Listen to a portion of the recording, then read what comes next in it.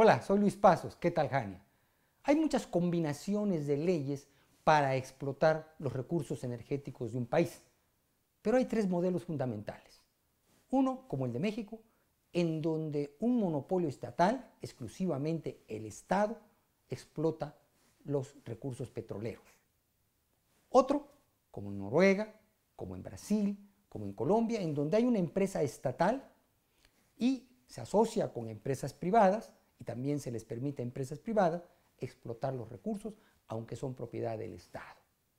Y otro, como los Estados Unidos, en donde son decenas de empresas privadas las que explotan los recursos petroleros y le pagan impuestos al Estado.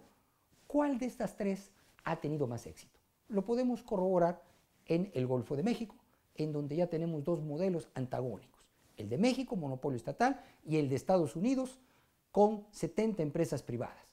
En Estados Unidos, 70 empresas privadas ya producen 1.6 millones de barriles diarios de petróleo sacadas de aguas profundas del Golfo de México. En México, el monopolio estatal ha invertido millones de dólares y no produce un solo barril de petróleo. Entonces, más allá de hablar de izquierda, de derecha, tenemos que buscar qué modelo es el más prometedor.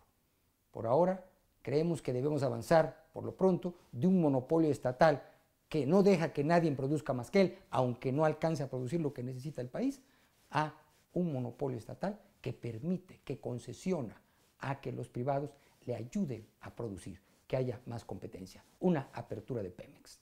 Esto basado en lo que debe ser, en lo que ha dado resultados y no en lo que nosotros quisiéramos que fuera. Hasta el próximo comentario.